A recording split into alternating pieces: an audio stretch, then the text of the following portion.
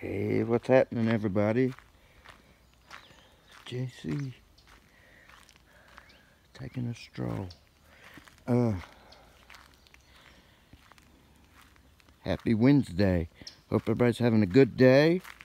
Uh, today in 1997, those little Chinese kids, students, they were college students, stood up to the government in uh, Tiananmen Square and they ran over them with tanks and shot them up, killed a bunch of them.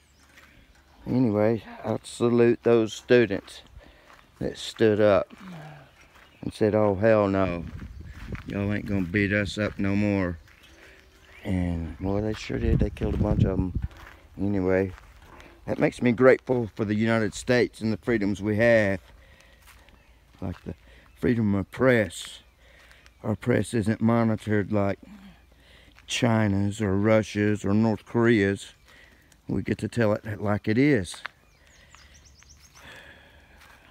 And if you want to be sponsored, though, you got to lean a certain way.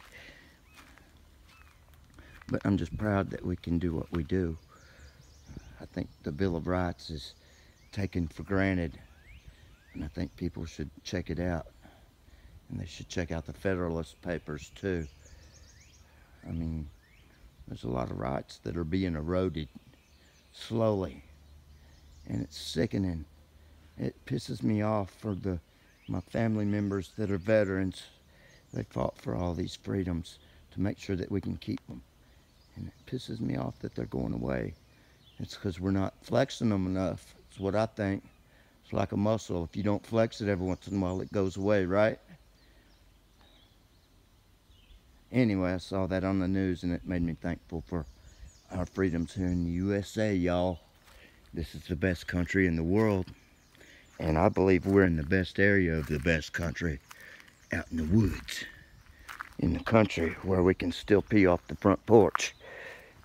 You can walk to the mailbox butt naked if you want to. Well, we can't because it's uh, seven-tenths of a mile to our mailbox. And you have to walk past a couple houses. But anyway, I hope everybody's having a great day and